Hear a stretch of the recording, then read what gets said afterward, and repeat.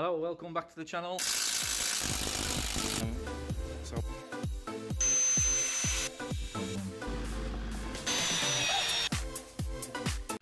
Hello everybody, you join us today with the bongo and some rusty shoes. Since it's the winter and we're not going to be going camping any, um, we've decided to sort out rusty shoes. Now you've seen us do a video on the other side um, in the rear arch area and I poked a hole in this recently. We could see it was bubbling. It was sort of like this and I put my thumb through it. Um, I've got a, one here that Josh just poked a screwdriver through. So it seems to be from this area to this area, which looks like, I don't know whether it's been done in the past. There's a join there that might be original or not. I don't know, but we're going to get this, we're just going to get it back with a sanding disc there and see what we've got. You can see the stone chip on there and then it's been painted over. I'm, I'm filming over here and talking about this. You can see the stone chip on there and then it's just been painted over in Kawasaki green. So we're just going to take this off. Uh, we'll open the door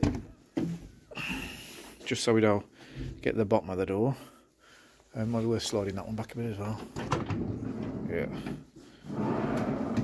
Okay.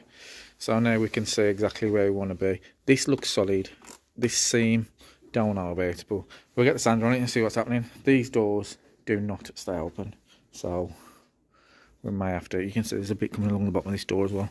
Might have to look at that. Um, have we got anything to line up this door? Door held with ladders. So, do you want to start this or do you want me to do it? Yeah. Yeah then.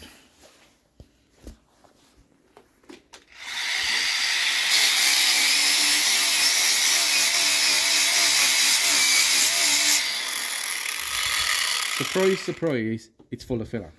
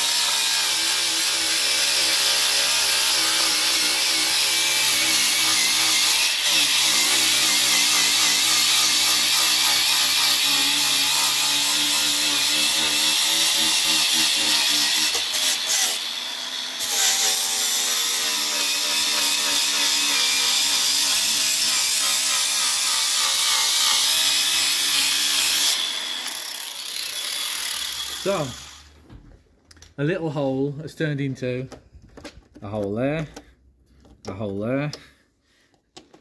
That one ain't too bad, but you can see instead of it being welded, somebody's just filled it. So, it looks like we're going to have to weld these up anyway. Um, we're going to cut this out. We'll probably cut that entire strip along there and this piece out here and we'll weld them up. I'm just going to carry on cleaning it back. Done ourselves a favour and got some lights on this situation and that little tiny hole has turned into all of that gubbins. So the rear of the sill is pretty solid, but the front in this area is shot to shit. So we're gonna, you can see, oh look. Oh good. See, that wouldn't have passed an MOT, an MOT man's hammer would have gone straight through that. Oh look, what's that on the back of it? Oh, it's red. It's filler. Just thick filler, look. Oh no. I feel like taking this screwdriver off him and stabbing him in the head with it. All of that. Yeah. Oh. Uh, oh. Yeah. Oh no. It's really making me upset. It's full of water. Oh look. A snail.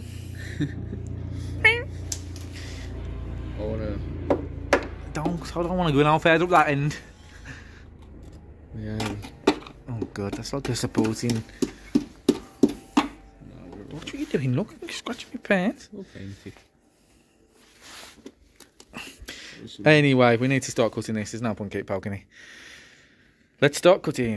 Yeah. We're going live. Yep. We're going to start cutting with this thin disc. We'll see how long the battery's got left on this. And I should wear a helmet. Already ruined my glasses now. You cool thing nothing to do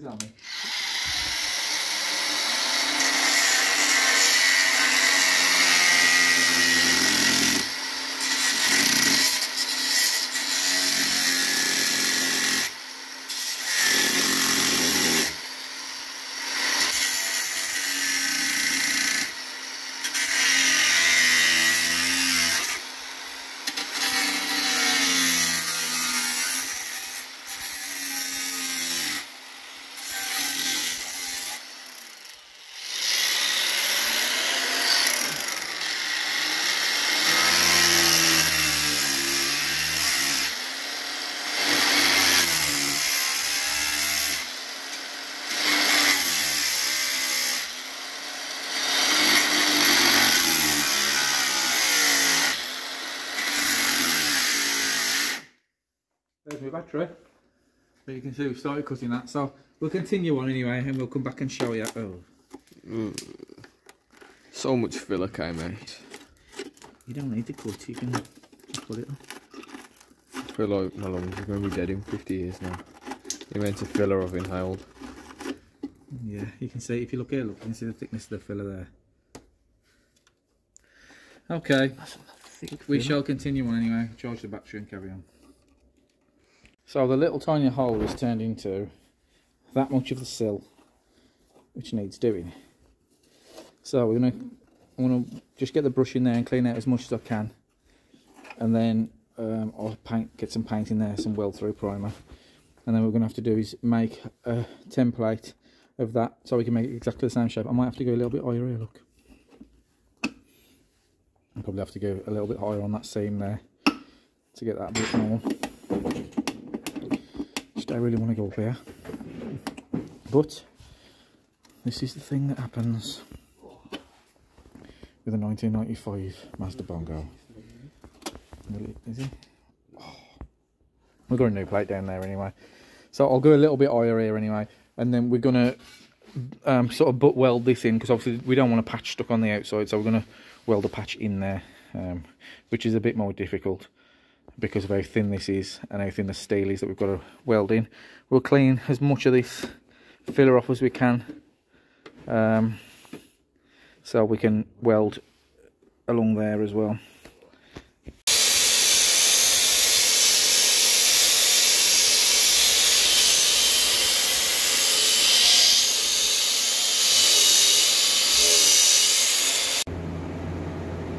I'm in the wrong direction. Right, quick update. Other than me needing a shave, start getting this welded on. Um, we just cut out a template like this. Um, that was the size of the hole ended up, and then we've uh, ground it down, made, made a piece, welded it in, started to grind the top of it back there. We've still got to weld along the bottom. I'm gonna have to take a piece off there. But in order to get the, sort of bend right, I've had to weld the top so I can push the bottom up. We've got a few pinholes to to fix. Um, but it's going well so far. So it's just another hole. It's gonna be sorted out, and then we'll prime it, etch primer, and we'll paint it green. And then I've got another one. Well, yeah, another hole, but it probably will turn into a hole. You can just see it there. on the wing. So we're to get that one done as well. And then at the rear there you can see it's been filled before, so that needs doing. Um, and also the boot. Sh I've showed you the boot in the past. no actual rust coming through yet, but so we're going to do that as well. So I'll continue on with this. So we've just welded it. We've used the big welder um, on a lower setting. Was blowing a few holes, which you can see here, which you've had to patch up. Um, that was just where I welded my earth on because I've got to put it. Uh, so we'll do them little holes and all we've used is that, that welder then um, to get them smoothed off we've just used the battery grinder which the battery has now gone on with a little sanding flap wheel on it uh, so I'll continue on with that and I'll show you when I've finished oh there's a lovely diesel heater as well back in a bit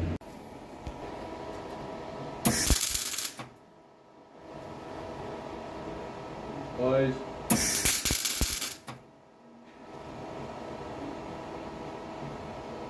Boys.